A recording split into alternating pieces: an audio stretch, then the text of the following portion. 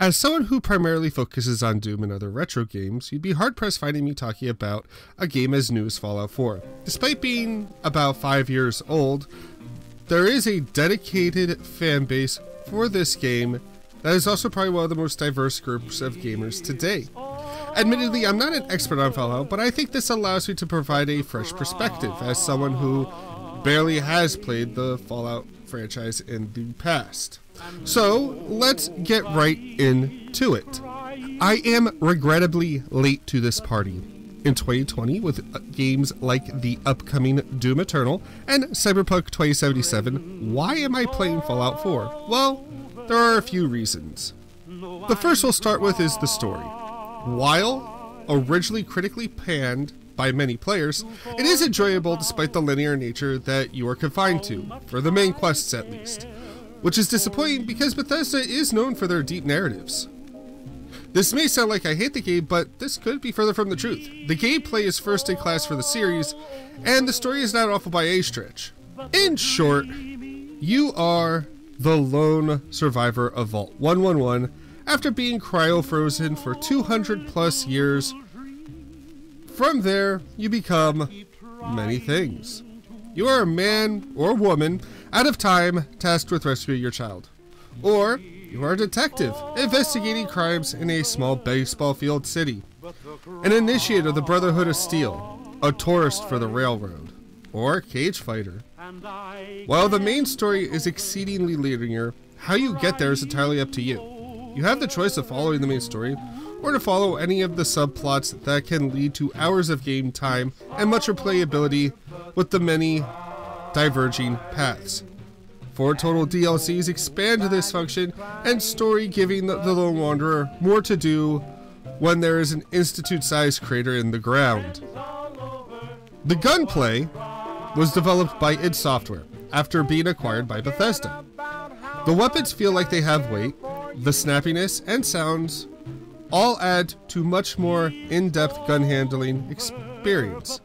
It plays much more like an FPS than a Bethesda RPG, with much more traditional controls like games such as Call of Duty or other modern first-person shooters. This isn't a bad thing. With the right loadout, you could switch from enemy to enemy in a rapid fashion.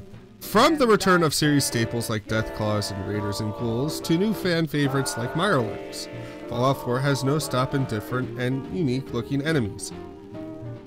A little side note here from Future Eric. This could be incorrect. I believe Mirelurks were in Fallout 3 and New Vegas, but I digress. They do expand upon the roster a little bit. Even without mods, the cast is diverse and interesting. From an agent hardened synth detective to a sleuthy, not slooty, reporter to a hardened mech knight, and even, yes, a robot butler that will help you, that will call you dirty words. One of my favorite functions is the stat system. It's based on an old RPG system called GURPS. You choose your first stats to be from strength, perception, endurance, charisma, intelligence, agility, and luck. These can easily be translated to more traditional D&D stats. This does come with the easily understandable acronym SPECIAL. From there, your level in the stats dictates what other perks you can choose later down the line. This simplifies the system from most other RPGs and is a good entry point for newcomers to the series. However, absent from the game are fan favorite traits from the original Fallout 3 and New Vegas games. But these can be added with mods. Also, Missy is how you level up perks.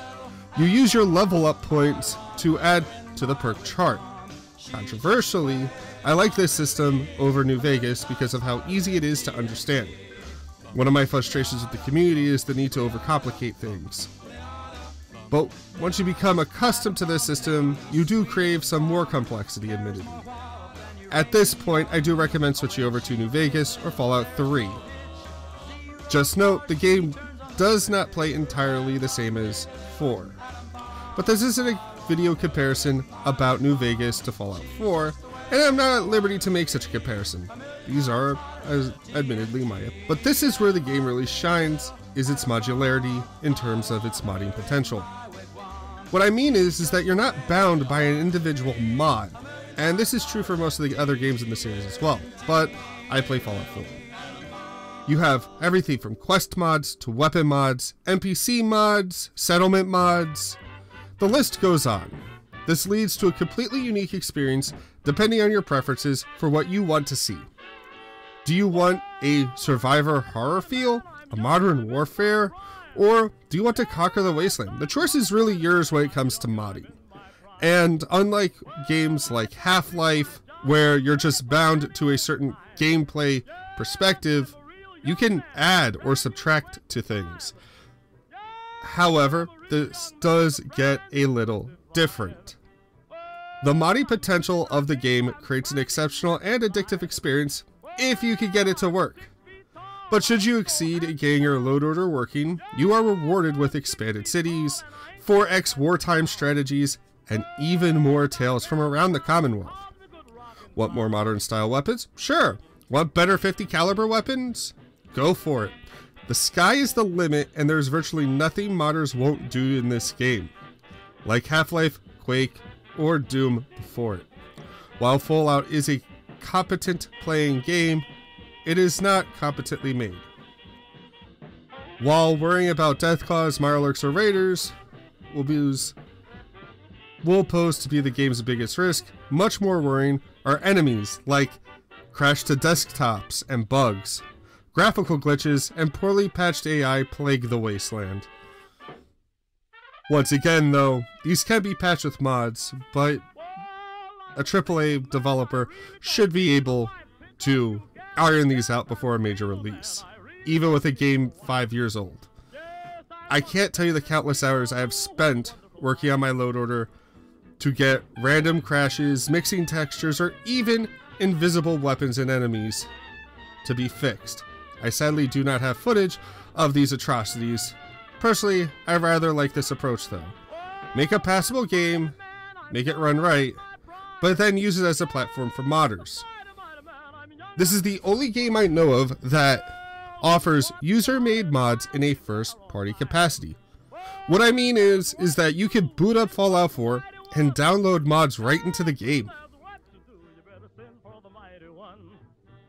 Hell, this is the only game I know of that has a special paid-for store with mods aside from Skyrim, which is another Bethesda title.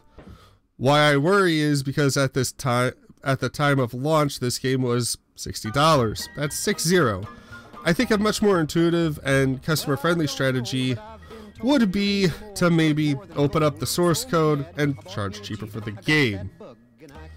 What I really am trying to get at here is that to market the game as a modding platform. So have a competently made game with fewer bugs, but use this as an experience to teach early game developers how to develop games and just encourage people to mod said game.